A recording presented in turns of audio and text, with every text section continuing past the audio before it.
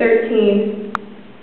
Fevered dreams, conjuring light on the barn floor as she bows once again beneath the cow. Then the blaze explodes.